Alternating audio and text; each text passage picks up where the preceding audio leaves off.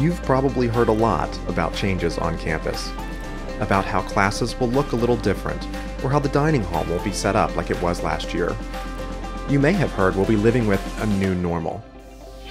But the truth is, at York College of Pennsylvania, normal has never been our thing. If by normal you mean predictable, usual, commonplace, average, that's not us. Our normal is extraordinary, exceptional, remarkable. Our normal is about taking responsibility, thinking of others, and treating people with respect. Here, normal means being compassionate. It means protecting the person next to us to ensure safety and good health for all of us, because we know we're in this together.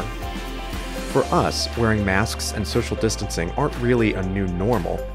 They're just another example of what's always been important to us.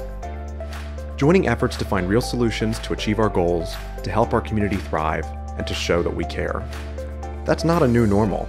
That's our normal, and we are grateful that you're part of it. Welcome home, Spartans.